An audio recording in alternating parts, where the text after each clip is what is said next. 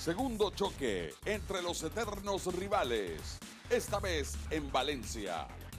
Las acciones comenzaron con Jesús Guzmán conectando un largo elevado hacia el center field y Andy Chávez robándole un cuadrangular al designado de los Leones del Caracas.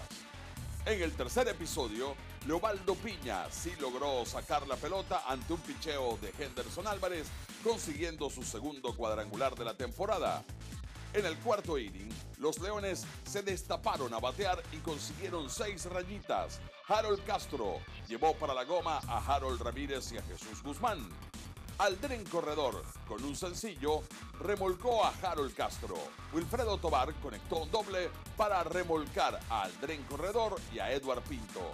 Y luego Víctor Reyes daría sencillo al centerfield para que anotara Wilfredo Tobar. En el séptimo episodio, Albert Martínez falló con una línea que se llevó Víctor Reyes, el jardinero central de los Leones del Caracas.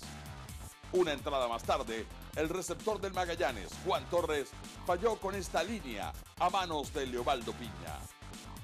En la parte alta del noveno, los Leones del Caracas pondrían cifras definitivas al encuentro. Harold Ramírez conectó un doble para impulsar a Wilfredo Tobar y a Víctor Reyes. Y luego Jesús Guzmán conectaría un doble para que anotara en carrera Harold Ramírez. Victoria para Luis Díaz, quien tiene su primera salida de calidad luego de tres aperturas en la temporada.